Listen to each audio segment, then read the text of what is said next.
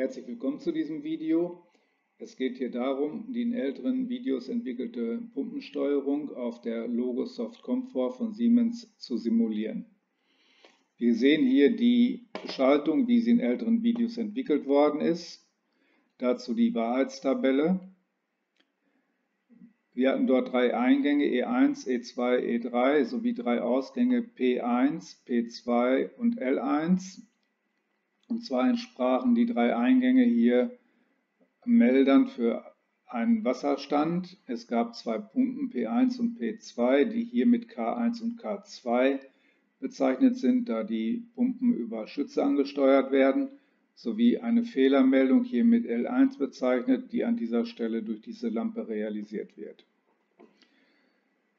Wenn Sie den Hintergrund dieser Schaltung nachvollziehen wollen, müssen Sie sich die älteren Videos ansehen. Allerdings ist es nicht erforderlich, das zu tun, um zu verstehen, wie man so eine fertige Schaltung auf der Logosoft Comfort von Siemens simuliert.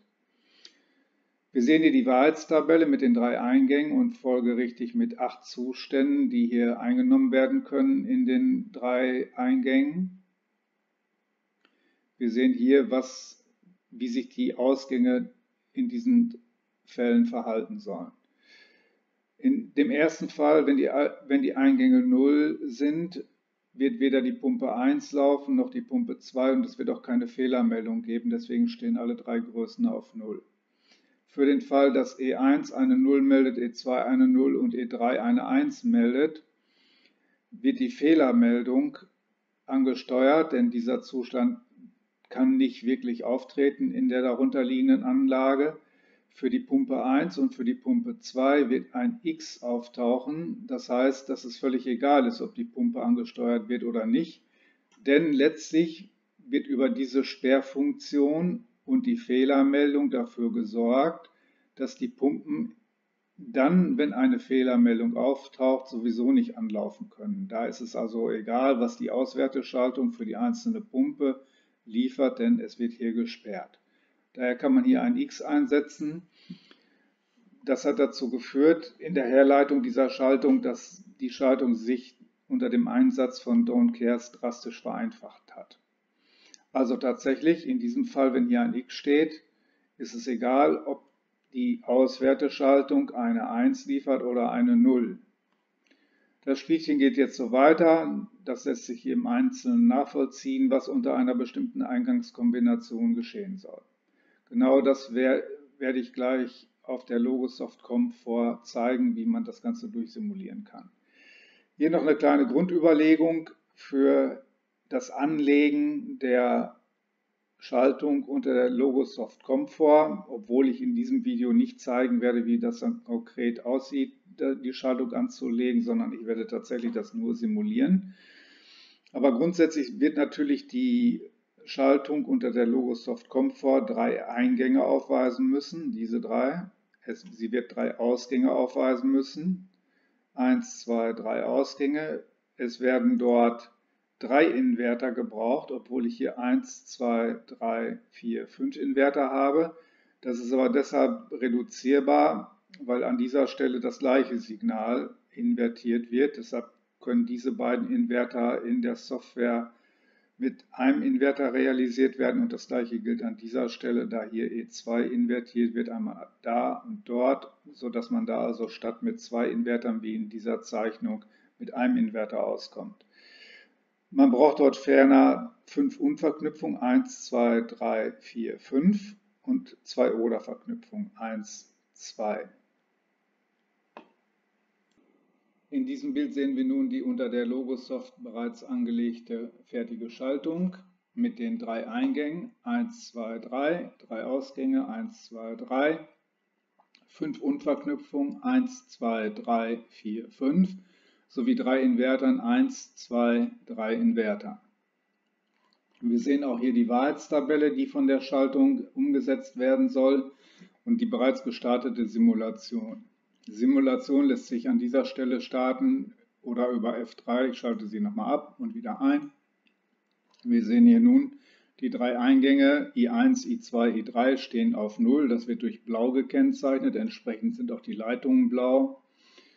Wir sehen hier die drei Ausgänge Q1, Q2, Q3 und sehen die in Form von Lampen realisiert, die jetzt nicht leuchten, also ist der Zustand 0. Schauen wir uns die erste Kombination an. Alle drei Eingänge sind 0. Das soll dazu führen, dass beide Pumpen nicht angesteuert werden sowie keine Fehlermeldung ausgegeben wird. Genau das ist hier der Fall. Alle drei Ausgänge sind blau gekennzeichnet und stehen damit auf 0. Der darauffolgende Zustand ist 001, das heißt I3 wird auf 1 gehen. Was bedeutet, dass die Fehlermeldung auf 1 steht. Genau das sehen wir hier und auch an der Stelle kann man das sehen, die Fehlermeldung wird ansprechen. Was nun die Auswerteschaltung der einzelnen Pumpen angeht, so ist es völlig egal, was diese machen. Deswegen stehen hier diese X, die sogenannten Don't Cares. Denn über diese Sperrfunktion wird die Fehlermeldung auch dahingehend genutzt, dass bei einem Fehler sowieso keine Pumpe anlaufen kann. Das heißt in letzter Konsequenz natürlich, dass hier eine Null stehen muss beim Ansteuern der Pumpen. Die Ansteuerungsschaltung hingegen, die eigentlich versucht, die Pumpe anzusteuern, versucht das in diesem Fall tatsächlich, in diesem Fall jedoch nicht. Hier wird aber die Sperre wirksam. In letzter Konsequenz muss ich natürlich dann immer hier eine Null einsetzen, gedanklich, wenn hier ein X steht, denn die Pumpen sollen ja nicht wirklich anlaufen. Der nächste Zustand 0, 1, 0, 0, 1, 0, 0, 1, 0. Es ist wieder so, dass eine Fehlermeldung ausgegeben wird, die Pumpen aber nicht laufen. Das ist hier richtig realisiert.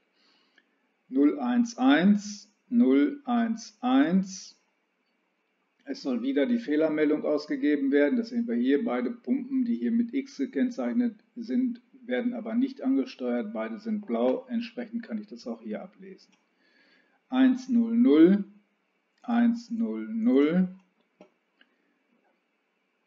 Die Pumpe 1 soll laufen, man sieht das hier, das ist rot gekennzeichnet, die Pumpe 2 läuft nicht und es gibt auch keine Fehlermeldung.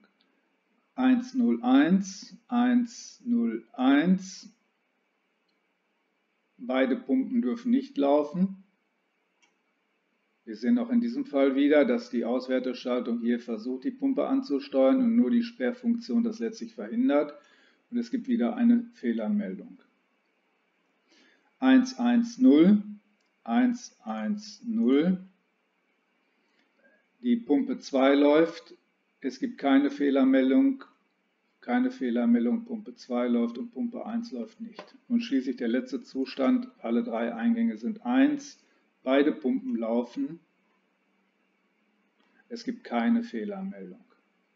Ja, auf diese Weise kann man nun also so eine Schaltung unter der Logosoft Comfort sehr gut simulieren.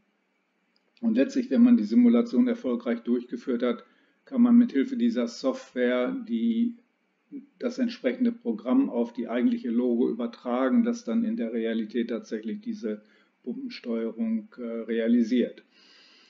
Ich hoffe, Sie konnten das Ganze nachvollziehen, haben ein bisschen was dabei gelernt. Ich würde mich natürlich über ein Like sehr freuen und noch mehr natürlich über ein Abo und vor allem danke ich für Ihre Aufmerksamkeit.